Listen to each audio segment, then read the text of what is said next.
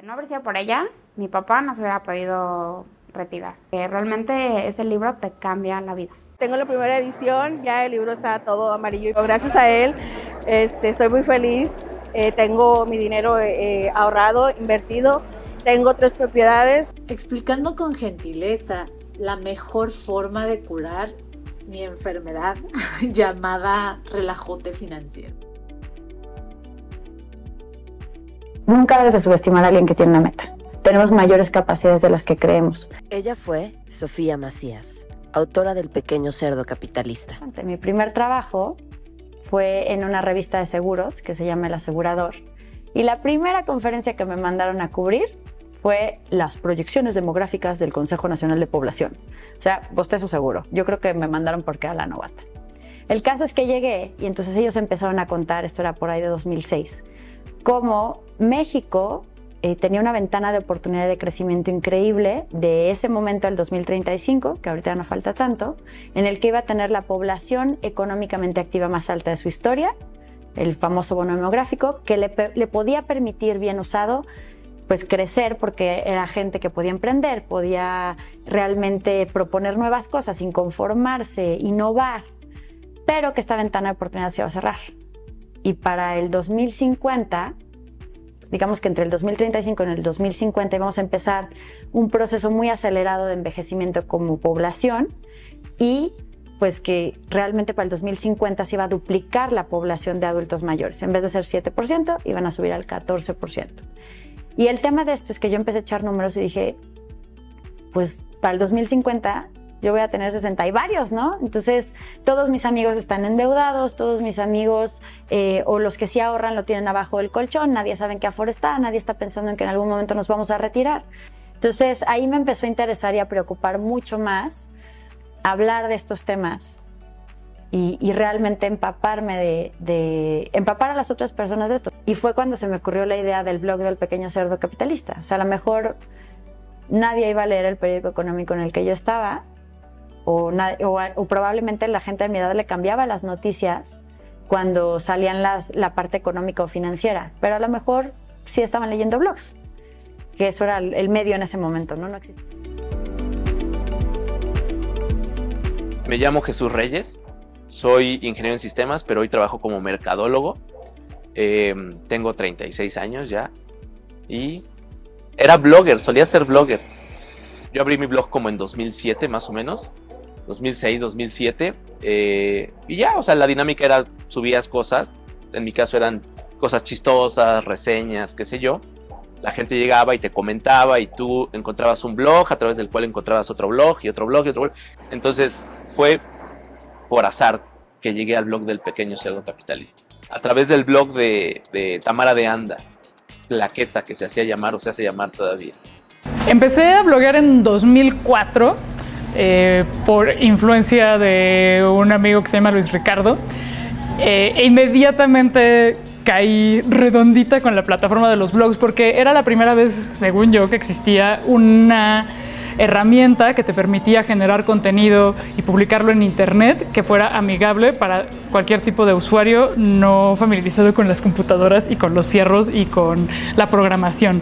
Era muy fácil de usar y fue el gran antecedente de lo que ahora conocemos como las redes sociales, porque eh, toda esta necesidad y esta compulsión que ahora es completamente cotidiana de, publicar nuestra vida en Facebook, en Twitter, en Instagram.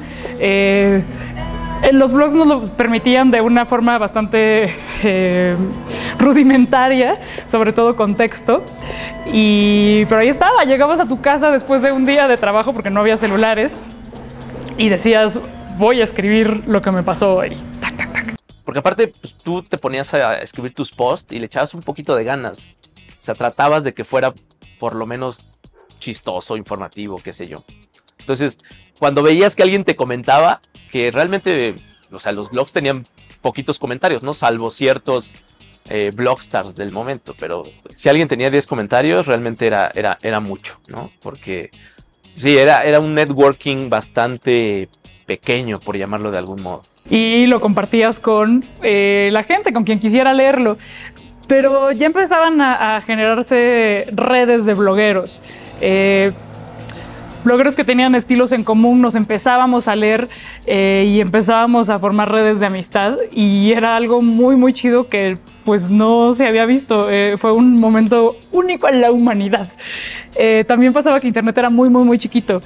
Mm, no había tanta gente y la gente que, destacaba o que eh, encontrabas porque tenía estilos o temáticas parecidas a las, a las tuyas eran muy pocas, como música, cine, tecnología o finanzas personales. Había de todo un poco. La mayoría eran relacionados, creo, con cultura pop. O sea, cine, algo de música, eh, libros, ciencia ficción. Soy un fan de la ciencia ficción. Entonces, la mayoría eran de chistines de cosas así eh, súper informales, ¿no? Esa era como, como la gran mayoría.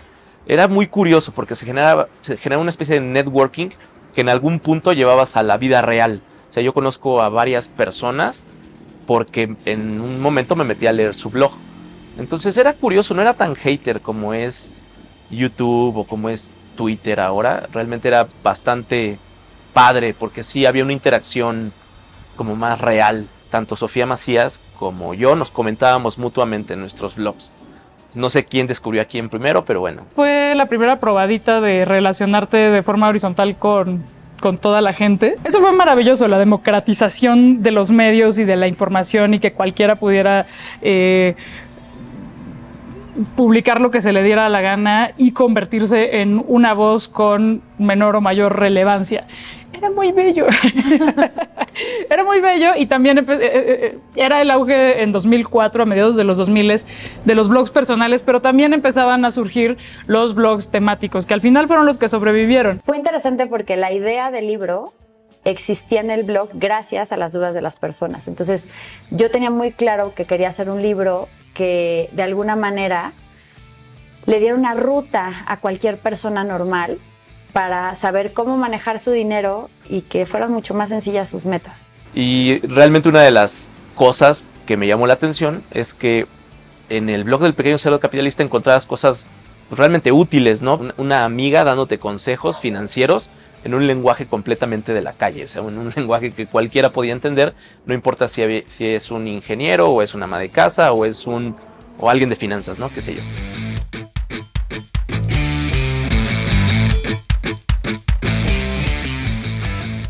Yo me acuerdo que estábamos aquí en el cumpleaños de Lisa, de una amiga, y que estábamos em- hablando de ahorrar, de viajes, de todas estas cosas. Y tú, y de repente empezaste a hablar que invertías en la bolsa. Me acuerdo, me acuerdo todavía la sensación de qué rara niña, o sea, ¿cómo invierte en la bolsa si tiene 20, 21 años? O sea, como que es un tema que alguien lo tiene muy alejado en la cabeza. O sea, piensas invertir en bolsa, claro, cuando sea millonario invierto en la bolsa. No sabes que desde los 20 años, con poco capital, con tus ahorros, que, o con el regalo de Navidad puedes invertir, ¿no? Entonces me, me pareció muy particular de ti y me acuerdo que en ese momento te dije, ah, entonces eres una pequeña capitalista. Y ya tú dijiste, sí, o sea, no, nunca supimos, en ese momento no sabíamos que eso se iba a convertir en, en un libro o en la marca de tu blog, ni nada. Ya tenías, creo que en ese momento ya tenías claro que querías hacer, emprender algo sobre finanzas personales y educación financiera, pero no tenías aún claro que ibas a hacer un blog. Ahí estabas inspirada también por, por otros blogueros del momento que tenían repercusión, entonces decías, bueno, yo tal vez hago el mío propio sobre finanzas personales y para que gente como yo que no sabe que se puede invertir en la bolsa y que puedes, este, porque así se llama el libro, ¿no? Este, finanzas para hippies, yuppies y bohemios. Entonces era claro, o sea, nosotros éramos esos hippies, yuppies y bohemios en ese momento. Periodistas. Periodistas que no estaban pensando en el dinero y que no sabían que que tenían una distancia mental muy grande con el dinero, ¿no? Y que no creo que, o sea, no creo que ni siquiera necesariamente prejuicios, que mucha gente sí los tiene, pero creo que era ignorancia total. No sabíamos qué era el dinero y entonces lo veíamos como algo lejano, como claro, ya me preocuparé por invertir, por ahorrar, por tal, cuando tenga 40 años. Ahora me voy a preocupar por saber qué quiero hacer de mi vida, ¿no? Entonces era impresionante que tú, desde, tú tenías claro que no tenía que estar peleado una cosa con la otra, sino que se podía ir construyendo ese camino de manera paralela. A mí me llamó mucho la atención, pero además creo que en ese momento, o sea, ya éramos amigas, pero no tan amigas, entonces me impresionó mucho ver como esa visión de, la vida que tenías o como que tenías muy claro el camino que querías construir, ¿no? Me impresionó la edad para hacerlo. O sea, me parecía como una contraria, como que no me parecía común que alguien tan joven estuviera pensando en eso, porque justo entre que muchos, algunos trabajamos, pero muchos no, o sea, en esa generación, ¿no? O sea, todavía dependes de tus papás o vives con ellos, o entonces me, parecía como muy loco que tuvieras tan claro que había que invertir, que había que ahorrar, y bueno, también creo que parte del éxito que tienes es haberlo tenido claro tan joven. ¿Cuánto, ¿Cuán emocionada estaba después ya cuando empezó a, con la idea de hacer su blog? Que cuando a, a mí me dijo el nombre, me pareció un nombre muy extraño. La verdad, yo decía, ay, qué nombre tan feo, ¿por qué le quieres poner así? Pero nunca me imaginé que ese nombre pues fuera realmente lo que fuera a llamar mucho la atención del libro y le fuera a dar éxito. Era linda, siempre fue muy inteligente. Eh, recuerdo una vez que me contaba que de repente ya tenía gente que le comentaba y ya empezaban a tener más, seguidores y ya empezaba a tener más mensajes y más entradas y más y entonces ya contestaba ella dudas y se emocionaba un poquito por ahí porque ya empezaba a hacer un poquito de ruido. No sé si alguna vez fue realmente su objetivo que el blog se volviera un libro o que el blog se cobrara muchísima fama, pero era algo que ella disfrutaba muchísimo. Además siempre ha tenido esa hebrita de ser maestra, de hecho sí fue profesora de primaria de inglés. Le ha gustado enseñarle cosas cosas nuevas a la gente, ser maestra tal cual. también conmigo, o sea, conmigo era como mi hermana extra.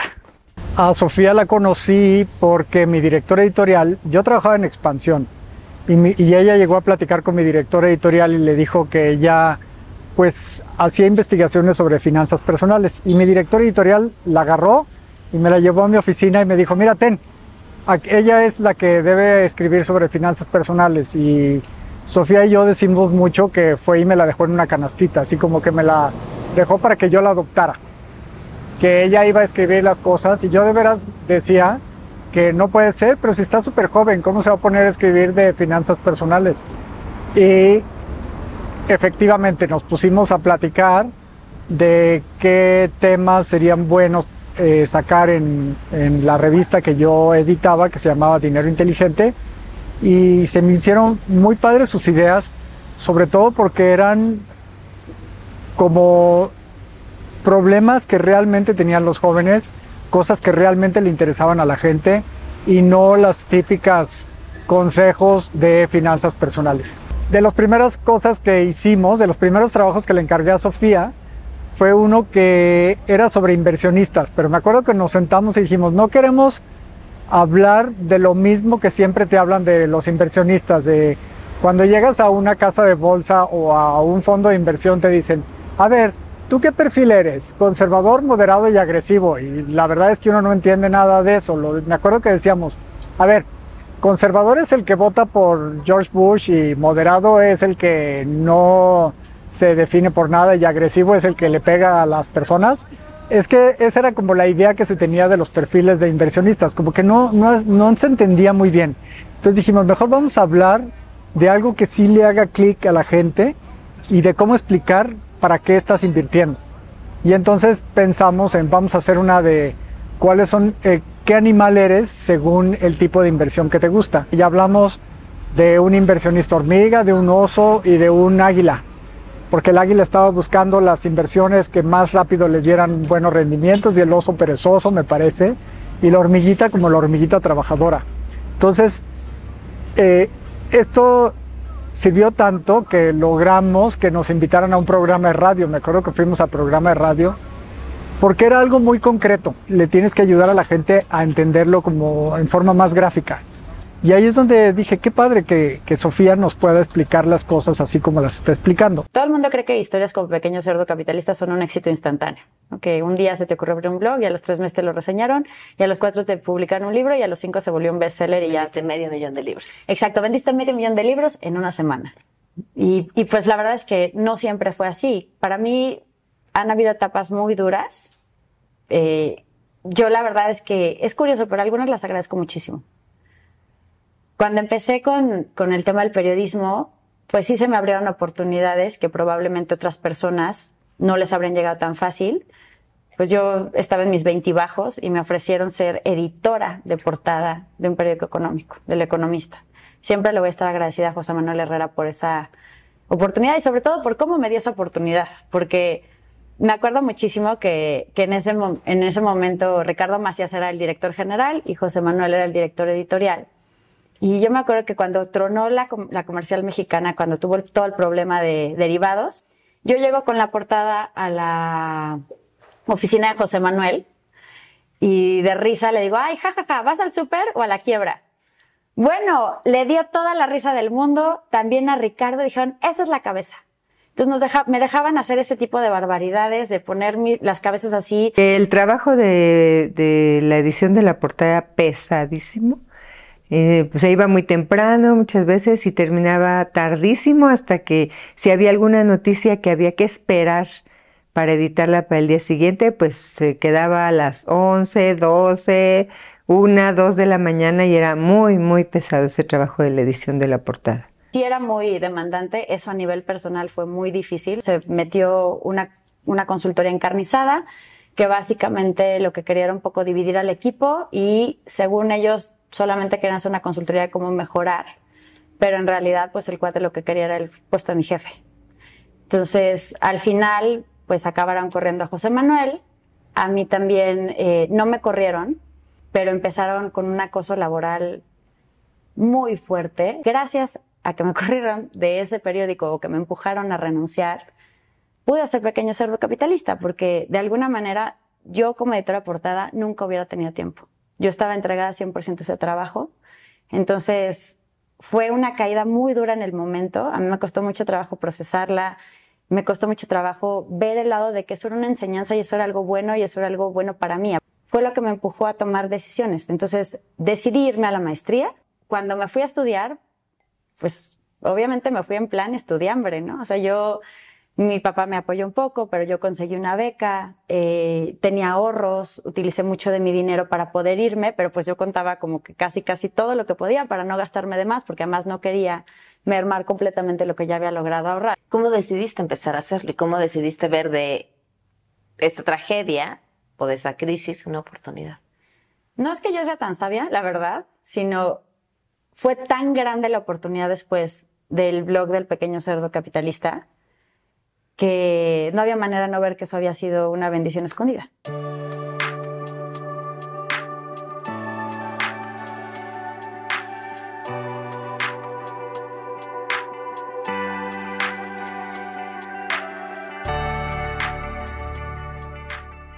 Y me dicen, vamos a sacar una nueva sección. Que va, o sea, en lugar de de hablar de periódicos, vamos a hablar de blogs. Recomiéndanos un blog mexicano. Padre, obviamente, ¿no? Que estuviera en la revista Clase Premier. Y me acuerdo que fue inmediato, o sea, ¿sabes que Conozco un blog. Querían que pusiéramos un, un, uno que apenas empezaba, ahora ya es del Daily Beast. seguramente lo, lo, conoces, ¿no? Que es como también como un canal de noticias, el Daily Beast. Y yo les decía, bueno, sí está padre, pero no es mexicano. O sea, pues, pues, o sea, si, abrimos tanto, pues claro, o sea, en el mundo debe haber, pero ese no es mexicano. Pues bueno, entonces fue, recomiéndanos uno.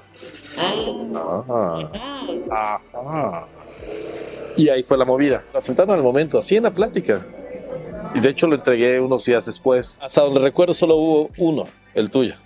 Tú dices, a lo mejor, a lo mejor la reseña está bien. Y yo pienso, no, es que alguno de tus textos en Cuba estuvo también que un güey como yo, que no, no, soy el target de finanzas, que, que lo leí, lo chequé, chequé tu, probablemente tu, tu semblanza, y ves que venía y todo, y dije, claro, pequeño cerdo capitalista. Supongo que haber pensado, me tengo que meter más a ese blog, porque mi manejo no, no, no creo que ella lo apruebe del todo, mi manejo financiero. Alguien eh, lee el, el blog de Sophie lo recomienda en la revista de Aeroméxico y se sube un director de Santillana a la revista, al avión de Aeroméxico, lee la revista, le gusta mucho el blog, se mete al blog, lo consulta y después pues les dice a sus asistentes, encuentren a esta niña por favor a ver si nos quiere hacer un libro. En noviembre de 2009 me escribe un seguidor del blog, una, un, digamos que en ese momento era una comunidad chiquita, entonces un cuate del blog. Oye, fíjate que en una revista de una aerolínea publicaron una reseña del blog del pequeño cerdo capitalista y me mandó la hoja en Word y todo padrísimo. Yo dije, ay, qué bonito. Esa reseña la había escrito Ernesto Murguía y él no sabía cómo me iba a cambiar la vida con esa reseña porque se publicó en una revista que estaba en un avión al que se subió Fernando Esteves, que era el director del, editorial en ese momento, abrió la revista le encantó la reseña, arrancó la hoja y en cuanto se bajó del avión, se la dio a su equipo y le dijo, bueno, pregúntale a esta niña si quiere escribir un libro. Entonces yo recibí un correo que decía, hola Adriana, este correo era de Patti Mazón y decía, oye, fíjate que nos gustó mucho tu blog, nos parece muy fresco, interesante el tema, etcétera. Queremos ver si, si nos podemos reunir para ver si quieres hacer un libro. Yo con el hola Adriana y el contenido del correo de Patti evidentemente decía, no, esto, esto no es para mí. Se equivocaron, habrá sido otra persona y además teníamos otro blog en ese momento que se llamaba El Bestiario, Ellos Apestan, que era sobre todas nuestras historias fallidas de citas. Ok. Y la última que había escrito era Adriana. Entonces, digamos que por eso hubo la confusión y fue una ida y venida de correos de si eres, no eres, si eres, no eres. ¿Qué hiciste con ese correo? ¿Qué fue lo primero que hiciste? Pues yo dudar. Entonces, como que nada más le contesté, bueno, creo que no soy yo, pero te puedo conectar con mi amiga. Y entonces me dijo, bueno, pero tú no eres la del pequeño cerdo capitalista. Ah, pero sí, pero... Pero en cuanto confirmaron que sí era yo, bueno, no lo podía creer. Creo que lo primero que hice fue hablarle a mi mamá. Y entonces cuando la contactan, que la contactan por, ma- por mail, eh, Sophie me, me habla porque, bueno, hablábamos por Skype y me dice, mamá, me están contactando los de Santillana que quieren que les escriba un libro. Y yo, no, no puede ser, qué emoción. Primero, pasa poco que encuentres este, una idea eh, tan potente para, convertirla en libro, ¿no? Y mucho menos que ese libro que publicas se convierta luego en un libro exitoso. Los editores, una de las cosas que hacemos es no esperar sentados con los brazos cruzados que los autores piensen en ti para mandarte libros interesantes, entre otras cosas porque hay mucha competencia. Para que te vaya bien tienes que salir tú a buscar los libros. Entonces, una de las cosas que hacemos los editores es, entre autores, entre posibles autores, especialistas en determinados temas, periodistas y demás, sobre los temas de su especialidad, hablarles para proponerles que escriban sobre, sobre algo. Entonces, si tú estás en 2016-2017 y en 2018 habrá elecciones en México, bueno, es muy probable que a un editor mexicano se le ocurra que es pertinente publicar meses antes de las elecciones un libro de análisis político sobre qué va a pasar en México según quien gane el próximo sexenio. Lo encargas. Bueno, puede funcionar más o menos bien, pero va a ser un libro más. El que tú encuentres en un avión, por eso hablaba de esto de serendipity, ¿no? Una idea con tantos, o sea, yo vi en un párrafo, en un párrafo de una página de una compañía aérea en la que comentaban otras, había otras cápsulas con otra serie de información. Veo una que en un párrafo sintetiza Pequeño cerdo capitalista, blog, autora mexicana joven, periodista, especializada en economía y finanzas, estudia en Francia. Eso es muy, muy difícil, ¿no? Las posibilidades son muy, muy remotas, no se te da. Yo tengo 25 años en esto y, y libros como Pequeño Cerdo no, no me he encontrado en la revista de, de un avión o en el suplemento de economía, de política o, o literario de un periódico, así como así. O sea, es como encontrar una aguja en un pajar. O sea, es, es, es, es difícil. Es muy raro.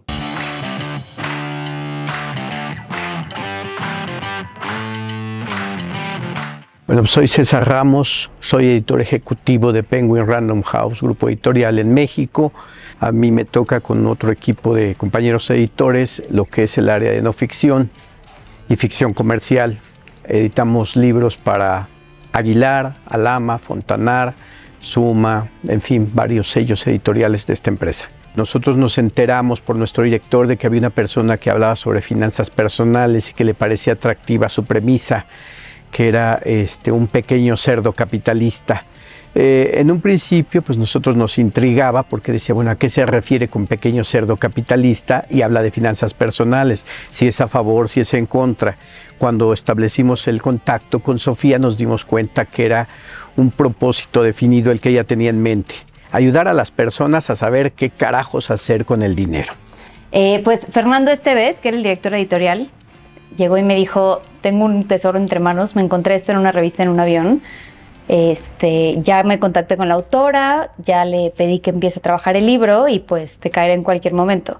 Y creo que llevaba tres meses en la editorial, o sea, debe haber sido mi quinto o sexto libro. Creo que lo más difícil de hacer un libro de finanzas, pues es que no sabes finanzas. O sea, por más como didáctico y para principiantes, que es Pequeño Cerdo Capitalista, o sea, estaba yo muy chavita y por supuesto jamás sabía de lo que era una FORE y para qué la necesitabas en tu vida. Entonces, evidentemente hicimos como revisiones técnicas y todo, pero pues sí era un tema con el que teníamos que tener muchísimo cuidado. O sea, ninguna palabra podía estar fuera de lugar porque cambiaba todo el sentido de todo. Y encima de todo eso era un libro con muchísimo humor para un público amplísimo, entonces pues tenías que hablarle igual a el chavito que estaba en la universidad, saliendo de la universidad, al que llevaba 10 años trabajando y seguía sin saber lo que era una FORE. Entonces, siento que era eso, como que abarcaba demasiadas cosas al mismo tiempo. Pues Sofía estaba en Francia, entonces todo era por correo electrónico. El correo electrónico y los medios así no eran tan súper este, eficientes como son ahorita. O sea, no lo tenías en tu celular así con tonta facilidad y no contestabas mails cada 25 segundos. Entonces, pues no conocía a Sofía, nunca había oído su voz, este, no era como la figura que es ahorita, entonces tampoco era de meterme a YouTube y buscar videos para ver cómo hablaba y qué tono tenía y cómo trataba como el tema. Sí, Sofía tenía como la inquietud de saber que, pues cómo voy a escribir el libro, si me atoro, si me detengo, si voy bien, si le meto... Yo me acuerdo que le dije, tú no te preocupes, tú escribe, escribe, diviértete, pásanos la información, lo que te salga, ya después nosotros veremos estructura, corregiremos, lo que a nosotros nos interesa mucho es tener los conocimientos de Sofía Macías, así es que tú suéltate, escribe, despeínate, deschóngate, haz lo que quieras, pásanos el texto y nosotros aquí lo trabajamos, ojo, siempre con tu consentimiento y no vamos a corregir cosas que vengan de nuestro ronco pecho, sino siempre con cosas que Sofía nos pasaba y nada más se ajustaban para que aterrizaran bien las ideas para un público numeroso y la estábamos jode y jode y cuando mandas el adelanto, oye Sofía, el, pues un, artículo o un título tentativo, oye Sofía, y el índice, nosotros una propuesta de índice y teníamos que estar detrás de ella porque decíamos, bueno, si está estudiando por allá, está lejos, no se le vaya a olvidar que tiene un compromiso con nosotros y nosotros teníamos la encomienda de que queríamos aterrizar ese libro. Entonces, Sofía, ¿cómo vas con la estructura? Sofía, ¿cuándo nos mandas algo? ¿Cuándo regresas? Estamos muy encantados de tenerte con nosotros, pero Sofía, ya entréganos algo, pero Sofía, por favor, ten piedad de nosotros, que se nos viene la noche. Después de haber estudiado en, Francia, una vez yo la fui a visitar y no pudimos salir una noche porque ella tenía que, trabajar en, un capítulo del libro. Entonces le decía, bueno, si no lo trabajas mañana. Y me decía, no, no, no, es que es importantísimo que lo haga ahorita y todo. Y bueno, pero salimos y luego vuelves. No, no, no. Entonces, sí hubo noches que seguramente estuvo que perder muchas cosas, porque ahí yo solo la vi en el viaje, pero, pues, eh, o sea, hacer un libro no es no es cosa fácil y menos cuando estás hablando de un tema tan complicado como finanzas. Y después, antes de que terminara la maestría, pues yo la fui a visitar a Francia y en el trayecto que hacíamos a algún destino, de un destino a otro que tomamos tren, pues Sofía escribía y escribía, escribía todo el tiempo y a veces pues me lo daba a leer y me decía, si tú lo entiendes, mami, entonces lo puede entender todo el mundo. Y eso me dio mucha ternura, la verdad. En algún punto Sofía me buscó, todo por correo electrónico, o sea, realmente yo creo que he visto a Sofía dos, tres veces en mi vida, así físicamente, eh, preguntándome si podía revisar como un draft, como un borrador de un libro que estaba escribiendo. Y me encantó la idea, ¿no? Entonces, o sea, yo le dije, le pregunté cuál era su expectativa, porque yo no soy ni financiero, ni tengo demasiada idea, y tal cual ella me dijo que nada más lo leyera y le diera mis comentarios en el sentido de que si era entendible o qué, le, que, le, me gustaría que, que, cómo fuera la dinámica, ¿no? Entonces por eso estoy en los agradecimientos. Leí los drafts de los dos libros y bueno, le di mis comentarios y espero le hayan servido. Muchísimo, la verdad. La parte gráfica era al principio súper estresante, pero ya después fue comiquísimo, o sea, porque Sophie tenía una idea clarísima de lo que era un pequeño cerdo capitalista. Y siento que cuando lo dicen la primera vez, pues no te imaginas tan fácilmente un pequeño cerdo capitalista, ¿no? Empezamos, por ejemplo, como por un señor así regordetito, muy rosa, con lentes redonditos, y fue como, no, es que siento que sí tiene que ser un cerdito. Entonces empezamos de cero con el cerdo, y yo creo que bajita la mano estuvimos pues como dos semanas sin darle a las cejas del cerdito. Porque, pues depende, o sea, si estaban como muy para acá, se veía bueno. Si estaban muy acá, se veía malo. Si estaban, o sea, no podía ser ni inocente, ni malo, ni bueno. A veces parecía un cerdo satánico, ¿no? A veces parecía un matón, parecía sicario, o luego era un cerdo muy tierno, muy dulce, o luego no transmitía esa malicia, o sí la transmitía, pero era como mafioso. Entonces iban y venían las propuestas y Sofía, este más o menos, este de plano no, este sí me gusta, este se va acercando, hasta que poco a poco dijo, este, pero habría que matizarle detalles en las cejas, en el gesto, para que no se vea como un cerdo cabrón, sino como un cerdo más amable, muy astuto y un cerdo que me puede dar todas las respuestas me decía, no estoy entendiendo, ¿qué le hago a las cejas? Y yo, no sé, hazlo ver un cerdo que sea pequeño y que sea capitalista y que sabe todo, pero que no es mala onda, pero que tampoco es buena onda. El libro ya estaba, o sea, el texto estaba prácticamente listo y seguíamos con las cejas del cerdito, con el tono de verde exacto, que pues si fuera un billete, pero bueno, eso fue divertidísimo. La verdad que hay pocos libros en la vida en los que dices, nunca se va a ir imprenta. O sea, esto va a ir y venir hasta que se acabe el mundo. Me iba a dormir en las noches y decía, es que no entiendo qué otras cejas puede tener un cerdo capitalista, no estoy entendiendo. Pero al final, pues le dio en el clavo. Pero eso sí fue, llegaba todas las mañanas a la oficina y decía, por favor que me haya contestado Sofía si estas cejas le gustaron, porque además tengo al diseñador instalado en su lugar sin poder moverse hasta que haga el dibujo y la ilustración y las cejas que queramos. Se abrió una ventana en la que esto en lo que yo creía, este sueño que yo tenía, se podía hacer en mis propios términos. ¿Y cómo sucedió? O sea, viste que estaba esa oportunidad, que el libro ya además estaba siendo un éxito. ¿Cómo, ¿Cómo lo transformaste en que no solamente fueras la autora de un bestseller, sino que fuera un proyecto que te permitiera hacer tu sueño realidad? Bueno, primero la verdad sí fue, digamos, en la cuestión táctica, sí tuve que tener como un paso de valentía y decir, no voy a tomar otro trabajo. Ese fue, ya ahora sí, lo de Francia fue mi último trabajo tal cual me voy a dedicar 100% a este proyecto y le voy a dedicar dos años. ¿Qué es lo que tenían, lo que daban mis ahorros pensando en mis ingresos y la persona que iba a contratar? Y dije, y si, si esto jala, pues me voy a dedicar 100% a esto y si no, pues regresaré a pedir un trabajo Godín o lo que sea. La verdad es que es sacar un libro es creo que la primera parte del trabajo. Es dificilísimo escribir. Sentarse es de mucha constancia, mucha disciplina, sobre todo. Más que talento, exacto. Pero vender, o sea, todo el mundo cree, ya te publicaron y eres un éxito. Pero la verdad es que no. La verdad es que al principio, cuando eres un autor nuevo, pues nadie te quiere entrevistar. Para la editorial al principio eres una apuesta, entonces es difícil invertirle mucho tiempo, muchos recursos o mucho todo. Entonces yo me empecé a mover hasta por debajo de las piedras, eh, colaboraba donde se podía, estaba en espacios en radio y además tenía una joya que era Shelly Moses, que es una chica que de repente le decía, oye, voy a ir a Chiapas. Bueno, quién sabe cómo, pero encontraba el dato del productor del programa de televisión y le llamaba y le convencía de que me tenía que entrevistar porque era lo mejor que había pasado en el universo. Yo hacía pues relaciones públicas y ventas, porque hay que hacerlo de todo.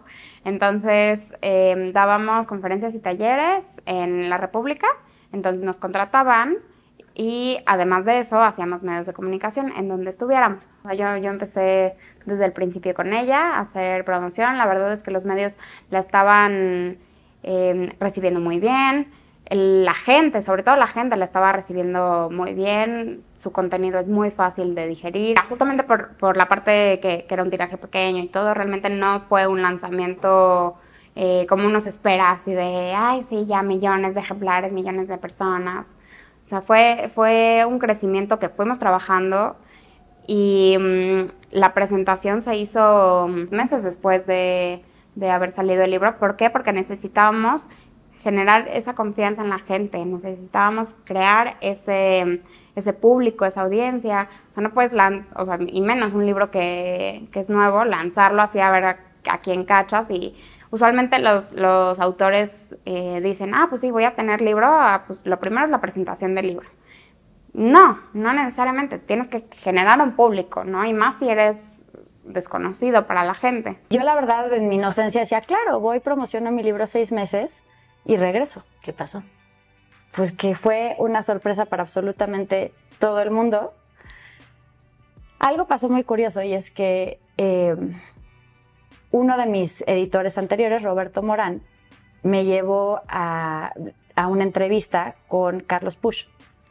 Él estaba en radio en ese momento y le cayó muy en gracia el tema del título de Pequeño Cerdo Capitalista y dijo, sí quiero conocer a la autora. Él me hizo una entrevista en radio y entonces todo lo que no habíamos logrado con medios en ese momento, después de esa, él me hizo un, episodio en Milenio en 15 y todo el mundo me empezó a entrevistar. Y entonces el libro se volvió un fenómeno que el tiraje que la editorial había previsto para el año, que eran 5.000 ejemplares, se acabó en tres semanas tuvieron que reimprimir y de hecho pues, no les alcanzó el tiempo para reimprimir y hubo un momento en el que no había libros. Empezó a crecer muchísimo y en un año se aventaron, no sé si 18 o 17 o por ahí, reimpresiones. ¿Qué implicó eso para ti? Pues que corté a mi novio por Skype y ya no me regresé a Francia. Hace muchos años, cuando estaba yo en W Radio, Ali llegó y me dijo, mira lo que te llegó. Entonces el nombre del libro dije, ¿qué es esto? O sea, hoy es normal. O sea, la gente no, todos tenemos que entender que hoy es normal. Hace 10, 11 años no era normal que un libro se llamara Pequeño Cerdo Capitalista y que tuviera un cerdo en la portada. Ah, y dije, trágala, ¿no? Díganle que venga, porque lo primero que quiero preguntarle es por qué es esto. eso fue lo primero. Y luego conocí a Sofía, y me di cuenta que, pues que eso iba a durar todo lo que ha durado, porque, no solo era una ocurrencia, sino que era, sino que había un trabajo y había una idea y había muchas cosas. Sé que fueron importantes las dos entrevistas, pero yo no tuve nada que ver. Tuvo que ver Sofía, porque, porque, ok, yo la invité y a lo mejor fui el primero que la llevó a dos medios grandotes y que importara. Pero lo que realmente importaba era Sofía que tenía esta facilidad de palabra, esta manera de explicar, esta manera de ver a la cámara, esta... No, a ver, yo, yo abrí la puerta, pero, pero quien pasó por esa puerta y la conquistó fue Sofía, o sea, no, no, es ella. Porque a lo mejor se me ocurre hacer lo mismo con otro autor o con otro libro, y llega alguien y, y, es absolutamente de flojera. Y no, Sofía resultó ser inteligente, atractiva, enjundiosa. La verdad es que debo decirlo, sí me siento un poquito parte de todo eso porque lo vivimos juntos y porque lo vi y vi lo que pasó después. Y es de esas cosas que te hacen muy feliz porque dices, si ayudaste un poquito a que una mujer inteligente, capaz, trabajadora hasta la obsesión, logre un poquito más, ya está. Entonces, eh, cuando fue su presentación, estábamos todos muy emocionados. Eh, fue en Gandhi de, Quevedo. No, bueno, o sea, la Gandhi así, se desbordaba, se desbordaba en gente. La verdad es que fue increíble. Mm, hubo, sí, ruido mediático, pero sobre todo ver a la gente es increíble. O sea, e iban por, por el contenido, ¿no? Porque realmente ese libro te cambia la vida. Sofía invitó a un conductor de radio que es muy bueno, que es Carlos Puch, a presentar su libro y a mí, y lo presentamos en el Agandi de Coyoacán. Hubo portazo, o sea, estuvo muy impresionante la cantidad de gente que fue, se quedó gente afuera, y luego, y era la primera presentación en la Ciudad de México, y, y se quedó gente afuera, filas para pedirle autógrafos. ¿Cómo nadie, pero cómo nadie debe gastar? ¿Cómo nadie debe gastar? no, te, no deberías hipotecar las cosas que realmente te importan. Entonces, si tú por algo que tienes hoy, que es una cosa chiquita, estás hipotecando eso grande. Pues la presentación estuvo increíble. Eh, generalmente nos dicen que esas presentaciones de autores nuevos pues van 20, 40 gentes así máximo. Y pues la verdad yo creo que fueron más de 100, se llenó el saloncito y todavía en las escaleras había mucha gente y se quedó mucha gente hasta dentro de la librería, que es eh, afuera del saloncito, pues esperando poder entrar a la conferencia y, y se tuvieron que esperar mucho tiempo hasta para, para poder estar en la firma del libro. Estuvo impresionante, la verdad. Yo no sé cuánta gente se habrá quedado afuera. O sea, ya era una locura, les gritábamos por las escaleras que por favor se estuvieran quietos. Habíamos hecho un libro gigante de Pequeño Cerdo Capitalista y este, acabó la presentación. Yo creo que Sofía firmó libros tres horas. Y la gente afuera se peleaba el libro gigante, o sea, hasta que el señor de la librería, como el que manejaba y el jefe de piso, dijo, este libro se va a quedar aquí, nadie se lo puede llevar porque ya pensábamos que íbamos a irnos a los golpes con los lectores o algo así. O sea, era una euforia absoluta. Y, era muy divertido para mí también porque llegaban los, los periodistas o los que querían entrevistar y llegaban conmigo porque creían que yo era la autora, pues es que Sofía estaba muy joven, la verdad, entonces llegaban conmigo y yo, no, no, no, no, yo no soy, es ella, por favor, es ella la autora. Cuando salió el libro, la realidad es que me dio muchísimo orgullo. ¿Por qué orgullo? Porque como te comentaba, se hizo una comunidad bastante bastante pequeña y cada miembro hizo algo, ¿no? Algunos hicieron libros, algunos salieron en programas de radio, Sofía hizo dos, tres, cuatro libros, qué sé yo.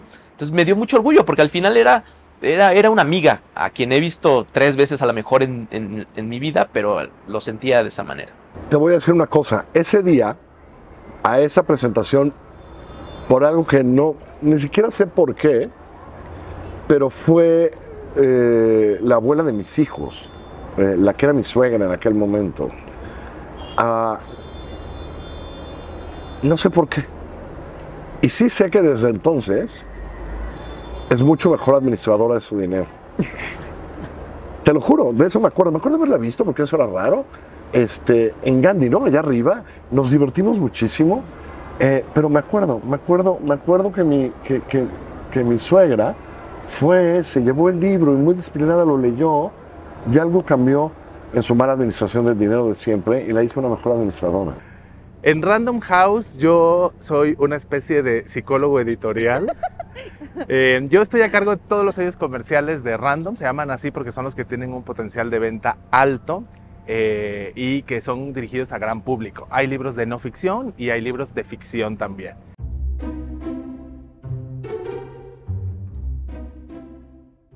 ¿Por qué estamos aquí en el Caballito, frente al Palacio de Minería, en esta bonita mañana en el centro histórico?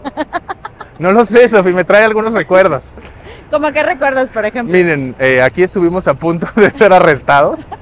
Bueno, en realidad no nos iban a arrestar, pero sí teníamos un plan de acción.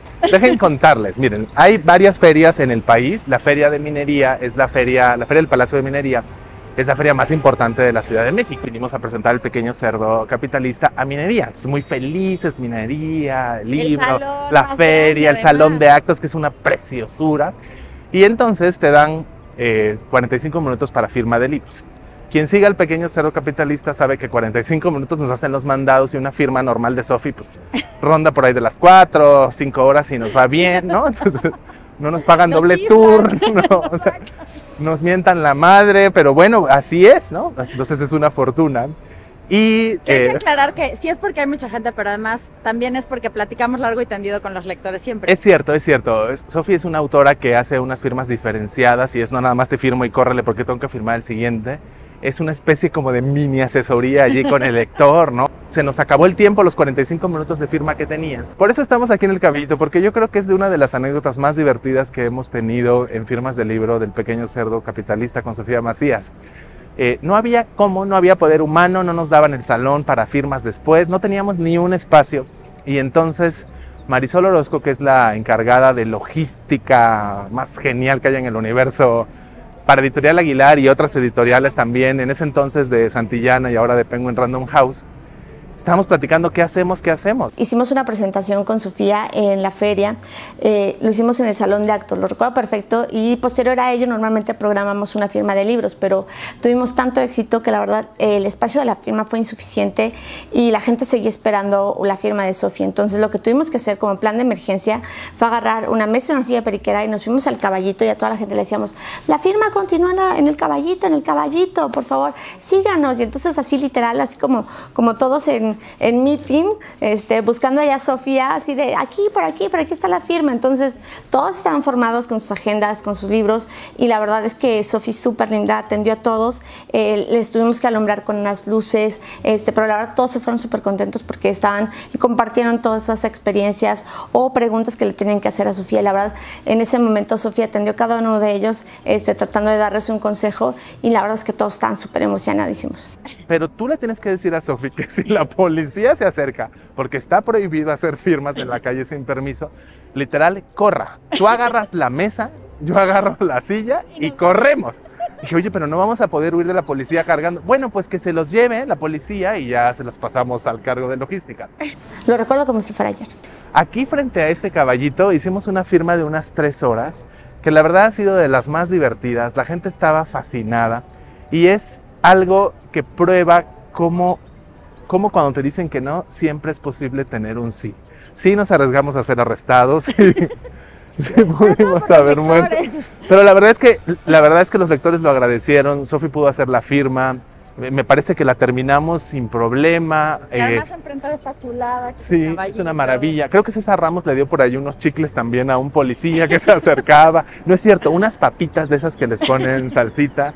Y entonces lo, lo logramos bastante bien y es una maravilla. La verdad es que este espacio de la Feria de Minería y el caballito pues nos trae recuerdos maravillosos De travesura y felicidad. de travesura y felicidad. Pequeño Cerdo Capitalista eh, tuvo un arranque o un despegue ultra exitoso y entonces rebasó las expectativas de nosotros, rebasó las expectativas de los libreros. Salimos con un tiro inicial de 5.000 ejemplares. Los que más lo agarraron, los que más lo utilizaron, los que más lo necesitaban tal vez, eran los jóvenes. Y el hecho de que llegó un momento en el que los jóvenes estaban comprando libros, yendo a librerías, le ayudó seguramente muchísimo al pequeño cero capitalista y viceversa, porque estaba el pequeño cero capitalista, se empezó a recomendar, los jóvenes lo empezaban a comprar y es como un círculo virtuoso en, en ese sentido. A nivel nacional yo nunca había visto el fenómeno de pequeño cero capitalista y sí me pasa, o me pasó, y esto no te lo había dicho, pero te lo digo ahora, eh, antes de la integración de- del sello Aguilar a Penguin Random House lo veíamos desde afuera.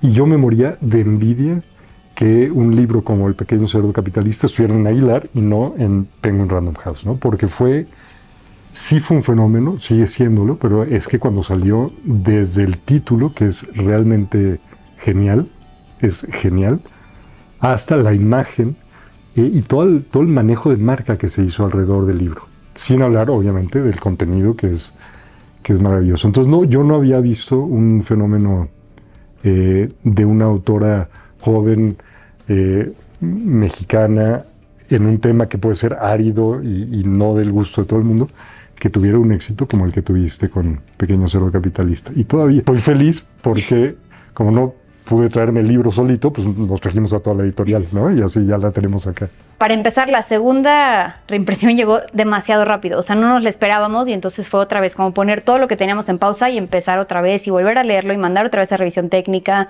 Ya muchísima gente se había involucrado, entonces Sofía nos mandaba de repente como mails que le llegaban o comentarios en el blog, posts de Facebook, cositas así que la gente que lo leía le decía, oye, yo creo que aquí quedaría mejor esto, o esto estaba mejor explicado que el otro tema, ¿no? Y entonces por ahí empezamos, que de hecho la edición que yo tengo y jamás la voy, me voy a deshacer de ella hasta el fin del mundo, miren, todavía tiene nuestras notitas. Las notas de Sofía y mías. No les voy a decir dónde vivo para que no me lo roben. Pero mira, tiene aquí post-its, tiene correcciones. Entonces, pues bueno, como que ya esto lo cuidamos muchísimo. La segunda, o sea, ya la, reimpresión yo siento que fue así perfecta. O sea, de verdad tenía todo el cuidado del mundo. No que no lo tuviera antes, pero cuando dejas como un espacio y vuelves a leer un texto, obviamente le encuentras cosas y le puedes mejorar muchísimo más.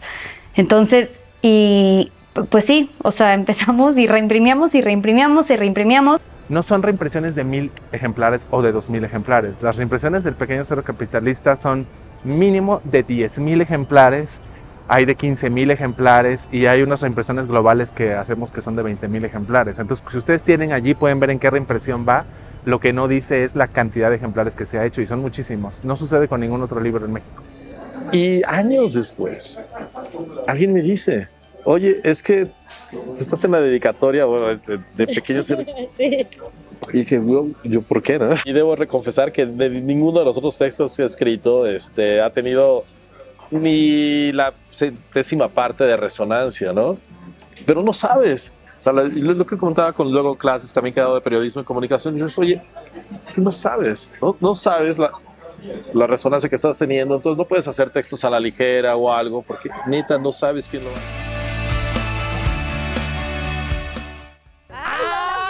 Lo de las monjas, no manches, qué buena pregunta. Cuando hicimos el pequeño cerdo capitalista inversiones, que aparte, ¿te acuerdas que primero habíamos pensado en pequeño cerdo inversionista? Ajá. Y lo dijimos, no, le vamos a dejar el título como bandera paraguas y luego vamos a hacer todos los demás. Pues bueno, estábamos haciendo millones de pruebas y sufriendo como nos gusta en los procesos de forros de los libros. O sea, primero surgió la idea de que fuera un lingote. La idea del lingote fue de Yolanda Morales. Exacto. Yolanda Morales tuvo a bien ponernos en camisa de once varas, porque entonces dijimos, wow, es una maravillosa idea que sea un lingote. ¿Y cómo me dijiste? Te dije, morra, ya sé, dorado como un lingote. Y así fue. Sí, era perfecto. La idea era como, wow, eres un genio. Y entonces pensamos en que el forro fuera dorado como lo ven hoy, pero el canto, que es la parte que no es el lomo del libro, sino donde uno ojea, estuviera pintado también de dorado para que cuando tú lo vieras a lo lejos dijeras, ¿qué es eso? ¿no? Que pareciera literal un lingote de oro.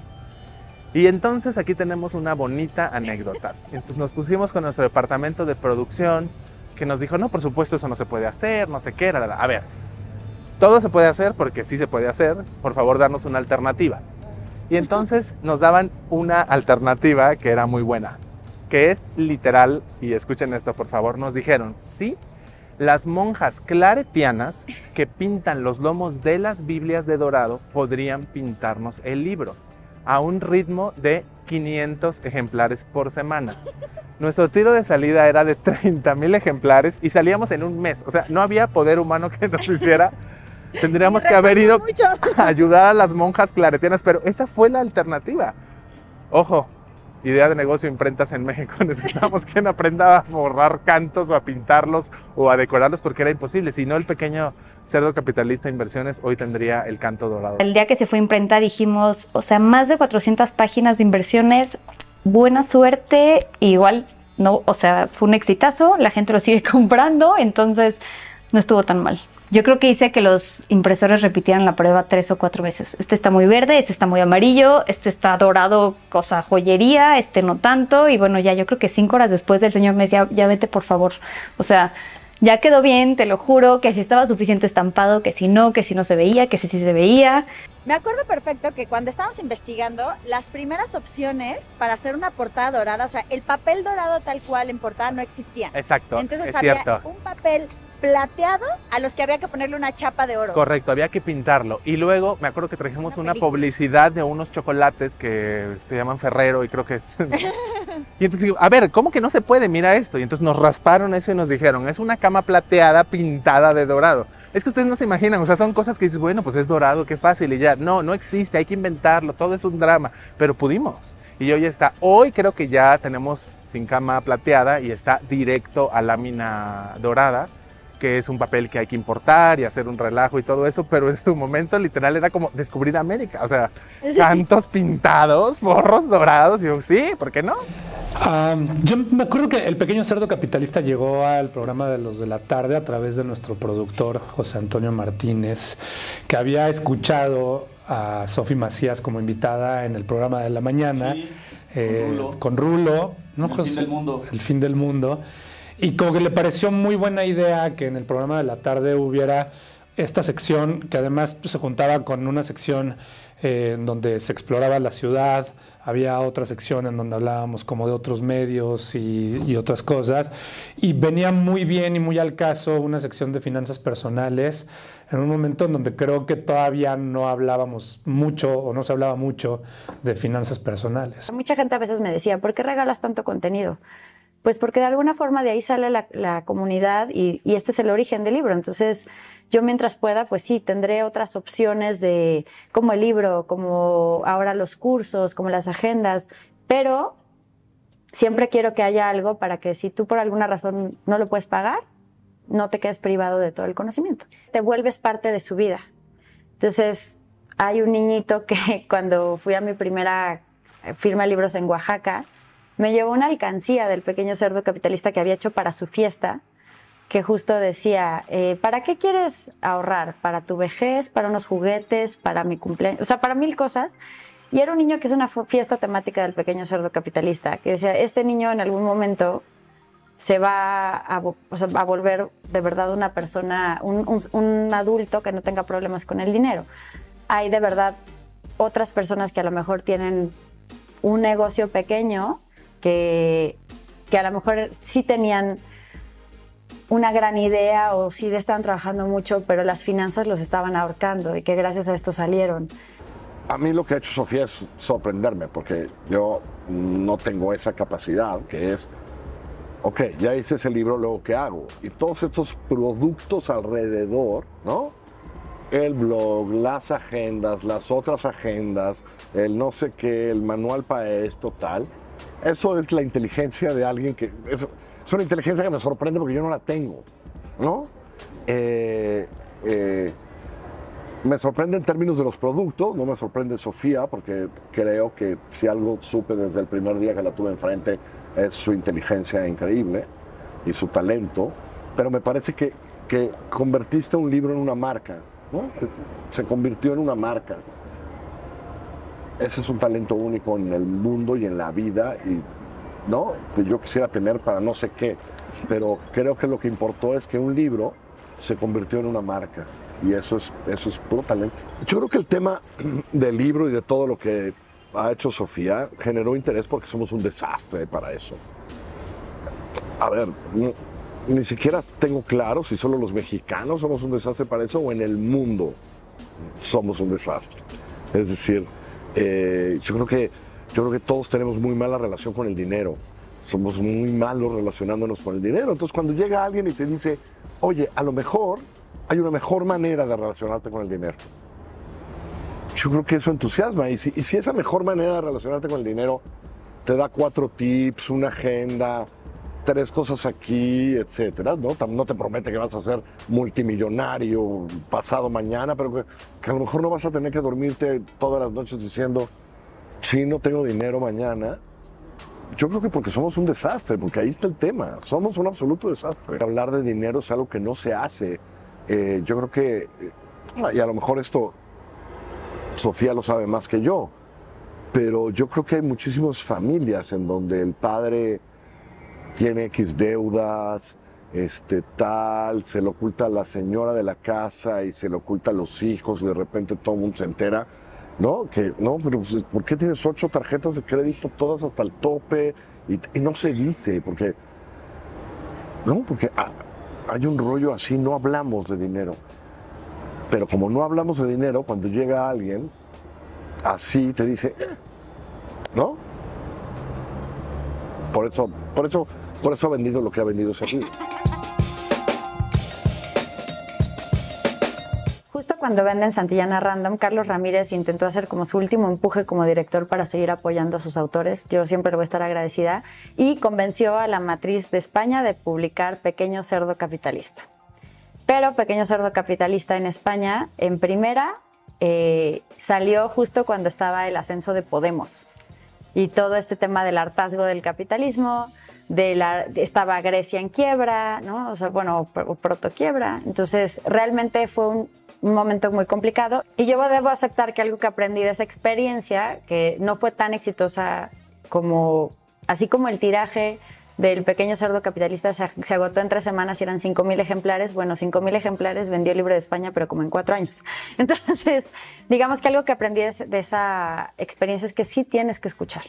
A mí los editores de España en algún momento me dijeron, oye, ¿por qué no le cambias el subtítulo? Porque eso de finanzas para hippies, yuppies y bohemios aquí en España no se entiende. Y yo necia, pero es que en México funcionó muy bien y en México funcionó muy bien y en México funcionó muy bien y lamentablemente un subtítulo, ya ahora lo cambiaron, pero ese subtítulo que no funcionaba evitó que todo el trabajo de adaptación que se había hecho adentro no lo tomara en cuenta pues los potenciales lectores. Entonces, habiendo ese proceso, pues, por un lado fue muy padre, porque yo me inventé mi gira, me fue tres semanas a España, me quedé en la casa de mis suegros y mi esposo, ah, eh, que entonces en ese momento solo era mi novio, estuvo pegando conmigo carteles de la presentación en las universidades, allá en la Complutense. Convencimos a una chica anarquista de dejarnos mm, poner un cartel en, su, en su club de estudiantes. O sea, de verdad fue padrísimo, pero también fue muy frustrante porque había sido muchísimo trabajo que no dio los resultados que yo esperaba. Entonces, obviamente fue un trancazo de humildad otra vez. Y eh, justamente cuando me proponen hacer Piccolo Porco capitalista, otra vez no me la creía. Decía, ¿de dónde salió esto? Y fue una editorial italiana, Balardi, que, que contactó a Random. Yo sin hablar italiano. Claro. Eh, dobbiamo anche capire che ci sono dei cicli per l'economia che influenzano in modo diverso. El subtítulo eh, italiano es eh, Si tú no lo haces, algún otro eh, como sniffará o estará olfateando tu dinero, ¿no? O sea, que eso es una, una expresión más como italiana. Entonces, Que no deja de ser una idea clave del pequeño cerdo capitalista. Sí, en mexicano sería si no lo haces tú, alguien más se agandallará tu dinero. Si no, pides, si no pides ese descuento, alguien más se va a quedar con tu dinero. Exactamente. Entonces, al libro le fue muy bien allá y además fue una experiencia increíble porque me tocó presentarlo en Milán y me acompañó mi mamá. Eh, ahorita rescataste una anécdota de tu presentación en España. Uno, cualquiera pensaría que esas son las cosas que hace una editorial, más una editorial grande. La industria editorial está cambiando y cada libro es una apuesta muy limitada. Entonces, si tú quieres que tu libro trascienda, no puedes decir, ah, yo ya lo entregué y dormirte en tus laureles y esperar a que algo suceda. La verdad es que Pequeño Cerdo Capitalista sí ha sido un esfuerzo muy grande de estar de verdad tocando puertas, de estar buscando que pues a lo mejor los medios lo conozcan, convencerlos de que a lo mejor es algo que vale la pena, eh, tratar de conectar a la gente con este tipo de eventos o con, con cosas distintas. Y pues no es fácil, pero vale la pena. Yo creo que yo tengo dos cosas que podría llamar arrepentimientos en la vida. Probablemente es una palabra muy drástica, pero uno de ellos es, creo que pude haber hecho más ejercicio. Ahora lo hago. Creo que pude haber ahorrado más y mejor desde joven. O sea, yo empecé a trabajar y a ganar dinero a los 20 años y me di cuenta muy tarde que podría haber ahorrado mucho mejor o haber aprovechado mejor mis sueldos. ¿Qué tan temprano? Pues tan temprano como fuera posible. O sea, si a los 15 años hubiera tenido una clase de educación financiera, probablemente me habría ayudado si no hubiera sido el necio que soy al día de hoy. Cuando era mucho más joven, eh, yo empecé a trabajar como a los... Siete. Siete, ocho, más o menos. No, un poquito más, más grandecito. Tus 16, 17, con permiso de mis padres, pero... Eh, pues sí, debía haber eh, ahorrado o tener ese hábito mucho más joven. Tengo amigos que durante muchos años pues, es muy fácil decir, ah, es que es muy codo, es que es muy tacaño, es, pero a la larga te das, te das cuenta que llegas a una edad en la que estás igual que él y este amigo es dueño de dos departamentos y que tiene cero deudas y que seguro no dudo que tenga o esté pagando un tercer departamento que es de él y yo que estoy a la mitad, o sea, o, o más bien estoy igual que él en edad, estoy empezando a pagar el primer departamento de mi vida, ¿no? Entonces, probablemente con una educación financiera más temprana, como a lo mejor la tuvo él de sus padres o de un familiar, pues bueno, podría haber tenido por lo menos un mejor ahorro o a futuro pues, algo, un guardadito. Si no, mira, no lo guardé, me lo gasté. Creo que otras editoriales no tan importantes este, han tratado de, de, replicar el fenómeno y de copiarlo. Y en algún momento nosotros pensamos también, ¿no? Tenemos que tener, antes de que vinieras a la editorial, tenemos que tener nuestro cerdo capitalista. Eh, y no hay manera de reproducirlo. Creo que sí, la fórmula que tú encontraste es irreproducible y, y se nota, ¿no? Es el libro de este nicho en el mercado. De no haber sido por ella, mi papá no se hubiera podido retirar, ¿no? Ahorita ya afortunadamente sí, sí trabaja, pero es porque él quiere, no porque necesite trabajar. Eh, yo en mi vida he pagado un solo interés de tarjeta de crédito y es gracias a que ella me enseñó a usarla. Y parecieran temas muy tontos, pero la gente se endeuda por, por tonterías. Eh, no sé, un presupuesto mensual, o sea, comprarte un coche que a veces parece imposible si dices, no, pues es que yo gano muy poquito, no, nunca me va a alcanzar. Claro que no. Mi mamá se, enfermó hace poco y de no haber sido porque tengo ahorros, gracias a Sofía, no hubiera podido sacarla, ¿sabes? Y muchas cosas que, que te cambian la vida. O sea, la verdad la filosofía de, de- Sofía, de Pequeño Cerdo Capitalista, que el dinero es para cumplir tus sueños, eso lo, lo dice todo. O sea, el dinero es, es un medio. No, no tienes que vivir para el dinero, no tienes que vivir por el dinero. Tienes que vivir para cumplir tus sueños. El dinero es un medio. Entonces, tienes que aprender a manejarlo para que trabaje para ti y no al revés. Yo, por ejemplo, ese libro, tan solo lo regalo unas 10 veces al año. ¿no? 10 veces regalo ese libro y todas las personas, o sea, te digo, esto desde 2011, imagínate cuántos libros no llevo, ¿no? Entonces, todas las personas que les he regalado ese libro me han dicho, me cambiaste la vida. Entonces, para mí eso ya es éxito, ¿no? Y la verdad es que sí creo que, que, mm, que ha tenido un impacto bueno en el país y que va a seguirlo teniendo, que hay que trabajar muchísimo, hay que trabajar muchísimo y desde, desde niños, ¿no? Porque nadie nos enseña a manejar el dinero y llegamos como adultos a, a decir, ah, tengo dinero, ¿ahora qué hago, no? Y empiezas a aventarlo por todos lados y luego te quedas sin nada. Entonces, sí creo que es una educación difícil, creo que mm, eh, vamos por buen camino. ¿no? Bueno, el pequeño cerdo capitalista para mí, para empezar fue algo muy divertido. Me encantó el nombre, me gustó que eh, conectara así, que fuera tan, no sé si decirlo cínico, de decir soy un cerdo capitalista y no me importa, como después, y hablando también de cambios generacionales, porque años anteriores era así como, hoy los capitalistas son lo peor y, y nos tienen a todos esclavizados y, y ni de chiste se les ocurría a los jóvenes decir que ellos eran capitalistas. Y entonces está padre, pues está divertido que digan, bueno, también tú puedes ser capitalista y deja de, de quítale esa mala imagen a la palabra. Ahora, tampoco es que se van a convertir en capitalistas tipo Robert Kiyosaki, cero, nada, por favor, nada de relación con Kiyosaki.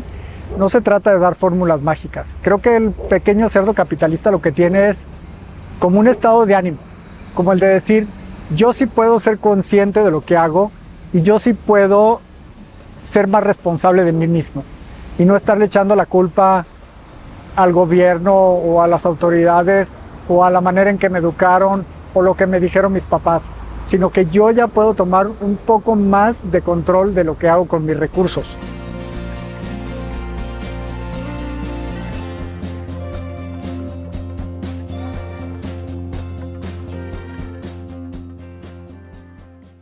Soy Alfonso, eh, tengo dos negocios de tintorería, específicamente de planchado. Y mi mamá me regaló el libro. Sabía que me gustaban mucho las cosas de finanzas. Yo escuchaba el radio en ese momento, escuchaba a los de la tarde. En esos, en esos días nos pidieron el primer local donde estábamos, de la noche a la mañana. O sea, me dijo, tienes tres meses, pero pues ya nosotros o sea, nosotros las primeras dos noches está, o sea, sí, medio llorábamos, estábamos bien tristes y todo. Y mi hermano, mucho más serio y todo, nos dijo, tranquilos, pues esto viene por algo. Y la verdad es que quien, quien ha sido un parte de aguas de esto, o sea, todos somos como, como piedras angulares, sea, encajamos bien. Mi mamá, desde el principio ya dijo, vamos a poner el negocio. O sea, ella dijo, ya yo estoy hasta la madre de estar trabajando para alguien, para alguien más, vamos a poner el negocio lo pusimos, ella encontró el primer local, ella me regaló el libro y aún, aún al día de hoy, así como es de canijona y todo, sí es la que nos, no- nos mete en cintura. Después de eso y en la mejoría que, me- bueno, en lo que me ayudó muchísimo fue que después de un año, año y medio, abrimos un nuevo local. Ya porque nos sirvió con los ahorros, nos sirvió a, a administrarnos bien y pues justo así vamos. Ahorita ya vamos dos locales. Yo sé que a él le gusta leer mucho. O sea, a él le gusta leer de todos. Y él siempre nos ha dicho que nos llevemos en nuestras cuentas, que, que pongamos, ¿cómo le diré? Que tengamos un orden en las, en las cuentas. Ah, pues nos regaña por todo, nos regaña si se nos olvida apuntar algo, se nos... la verdad es que es el regañón de la casa. el regañón de la casa porque sí, ahorita ya pusimos nuestros cuadernos y llevamos nuestro control, pero antes no llevamos control, entonces no sabíamos. Luego venían por una ropa y decíamos cuál es, cuál es. Sobre todo si llegaban y no traían su nota, entonces estábamos ahí Estábamos leyendo cuál será, cuál será, cuál será. A mí todo el mundo me dice que si yo enseñé a mis hijos y no, ellos me enseñaron a mí. Ellos son los que me han sacado para arriba porque sí, entré en una depresión fuertísima. Me decían, mira mamá, vamos a empezar con el nuevo local y tú no puedes estar así. Y a nosotros, o sea, nosotros los primeros cuatro años donde nos ibas muy bien, o sea, nos iba muy bien, pero éramos súper gastalones, se nos descomponía una plancha y entonces era una locura, porque entonces teníamos que empezar a juntar, comprábamos la plancha así ya, pero otra vez empezamos a gastar como, o sea, todo lo que entraba se gastaba. De las planchas sí, luego teníamos que trabajar nada más con una, nos se quedaban en la noche a trabajar para sacar el trabajo. Entonces sí era una locura. Ahorita sí se descompone una, pues cualquiera de los dos dice, ¿sabes qué? Tanto él como el otro, mi, mi otro hijo, ¿sabes qué? Vamos por la plancha, no puedes estar sin una plancha. Entonces también antes había que estarlas componiendo cada rato y ahora no. Básicamente dicen, si ya se descompuso una es porque ya dio lo que tenía que dar mamá. Entonces hay que comprar una nueva porque también las planchitas tienen su, su límite. porque ya empiezas a entender qué es lo más importante. Sí, sí puedes gastar en una, eh, eh, en una camisa, en un reloj, en lo que quieras, pero realmente la preocupación de cuando se te descompone esa plancha y que no sabes cómo vas a sacar el trabajo y que no sabes cómo vas a seguir avanzando, es muy grande. Te pasa mismo con las rentas, o sea, llega el mes y pues ya, ya gastaste, ya tienes de todo, pero no te alcanza para la renta. Y en un día, en un día tenías que sacar todo lo de la renta. Y posiblemente te salía, o sea, posiblemente te salía, pero la preocupación nadie te la quitaba. Y el libro a nosotros nos ha ayudado en eso. Ya no nos vemos tan, tan apurados, ya nos llegan los pagos y ya sabemos que por lo menos él, por ejemplo, nos dice, ¿saben qué viene el pago de la tarjeta a tal fecha? Acuérdense que tienen que tener su pago a tiempo. Sí. Entonces, también antes teníamos que pedirle favor a mi hermano, oye, pues con tu tarjeta sácanos algo. Ahora ya, ya no tenemos que ver eso, ya sé que ellos lo pueden hacer ya por su cuenta. Yo realmente, yo ya nada más me dedico a gastarme el dinero. nos pasaba antes con el banco que se nos pasaba y teníamos que pagar más intereses. Sea, hay que pagar más de lo que, de lo que, entonces hay que pagar nuestro pago exacto a, a tiempo. Somos de los que un sábado pasan por una botella de vino y yo les llevo el jamón serrano, el choricito, o sea, nosotros somos pobres, pero, pero bien finos en comer. Ah, Pues sí. no son pobres, O sea. Sí, porque hay gente así que, ay, no, yo tengo, pero, pero disfrútalo también. Yo le digo a mis hijos, por ejemplo, antes nos, nos reuníamos todos y nos íbamos al Sambors a tomarnos un café y a, a cenar ahí. Entonces, sí, la verdad, yo, yo le puedo decir, yo vengo de un pueblo y todo, pero hemos tratado de disfrutar la vida lo mejor que se pueda en ese aspecto. Empezamos a ayudar a a, mujeres que, que son madres solteras. La- las ayudamos, empiezan, empiezan a trabajar con nosotros. Eh, ya cuando les vemos que tienen ganas de, de aprender, les regalo el libro. Y no es broma, hay una chica que ya tiene su propia planchaduría en Azcapotzalco. Y llegaba muy temprano a trabajar, o sea, llegaba a las 8 y a veces iba a las 4 de la tarde. Y se iba corriendo porque tenía que ir a recoger a los niños con su mamá y, o sea, pobrecita salía corriendo, le decíamos, oye, ¿quieres comer? No, me tengo que ir. Y así muchas madres mexicanas. Y supongo que a mí, o sea, a mí me ayudó financieramente, pero además de esto, se puede ayudar a la sociedad. Y es que esta, esta, esta chica está en un negocio cerca de su casa con sus niños y no tiene la preocupación de pues de que tengo que salir corriendo, ¿no? Y supongo y espero que siga leyendo el libro. Pues para mí antes el dinero era el, el fin, o sea, puedes, puedo decirlo así, porque para mí era, ah, ya tengo el dinero y voy y gasto.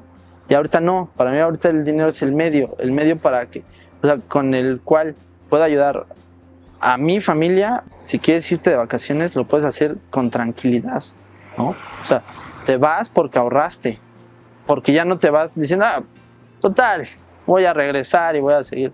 No, para mí ese es el dinero. O sea, para mí ese es el dinero, el medio. O sea, el medio para seguir consiguiendo cosas y no nada más el fin del ya lo tengo y lo gasto porque sí. De un día yo quiero tener una empresa de suplementos de tecnología, siempre me decían como que no, es muy complicado, está muy caro, pues fíjate nada más todos los equipos que se necesitan, el laboratorio. Y entonces como que también yo decía, bueno, pues sí es cierto, o sea, pues son millones, eh, o pues lo mínimo es, es muy caro, ¿no? Eh, esta meta la tenía planteada o visualizada a 10 años.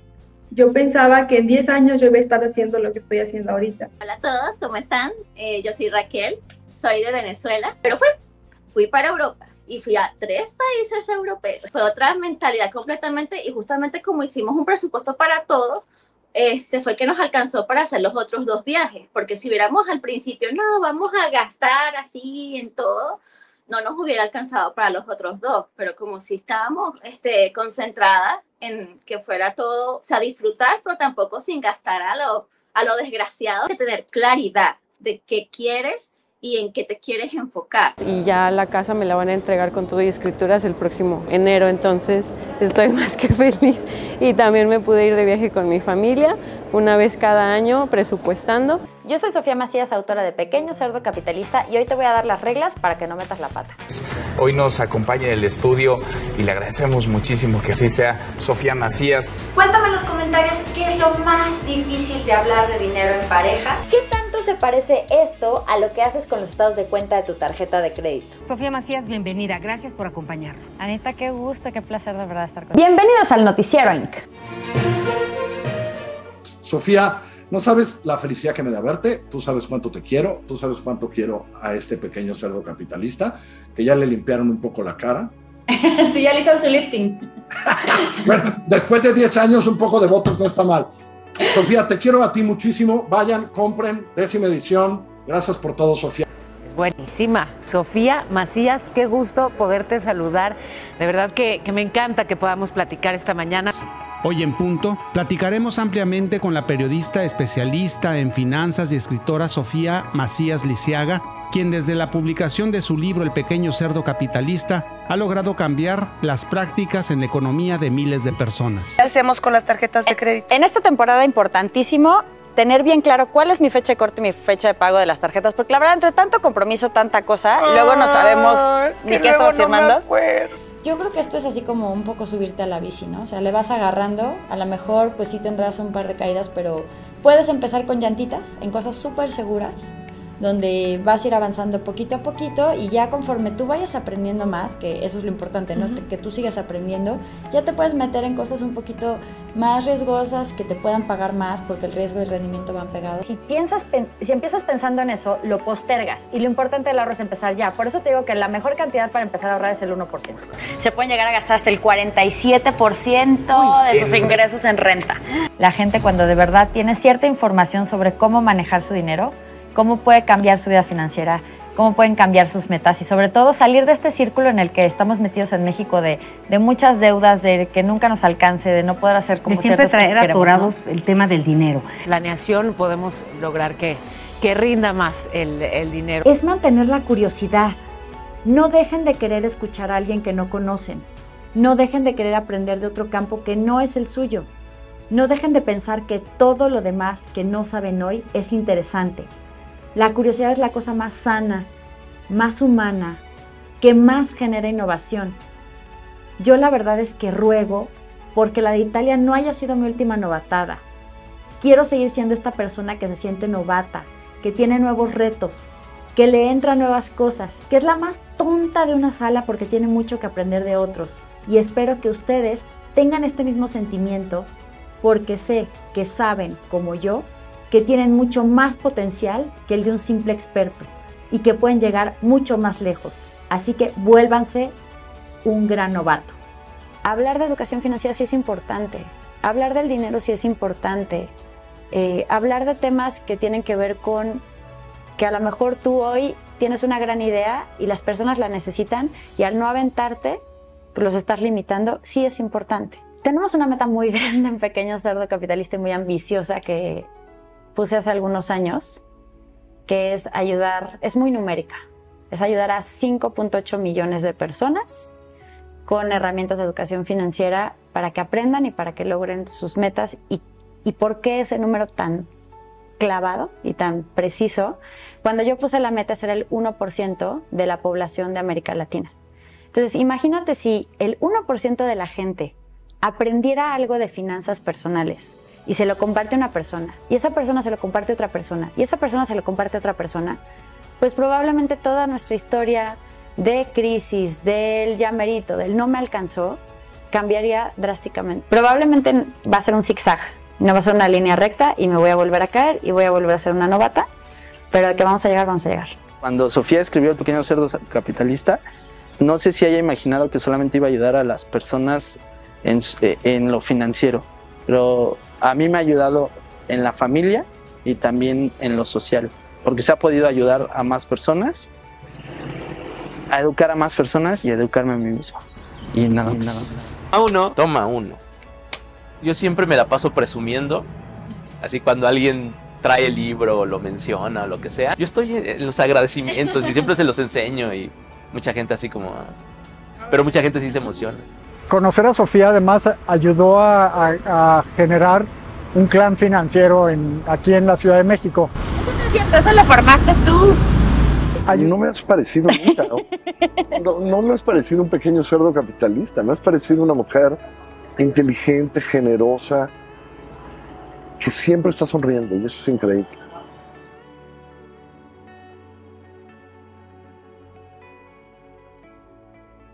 Ese es un chiste local que espero que no salga, pero si sale Sofía Macías es tu culpa porque solo tú lo sabías.